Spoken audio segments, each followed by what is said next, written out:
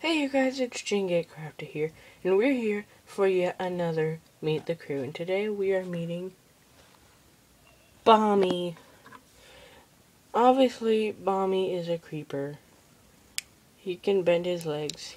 He likes to, um, he, he can sit down and he likes to sled. It's, it's awesome. He's one of my favorite members of the crew. I like him a lot. I've been waiting for him to do a meet the crew for a while, but I do random choices, so yeah. Oh, wow, did you see that? There was like a lightning right there.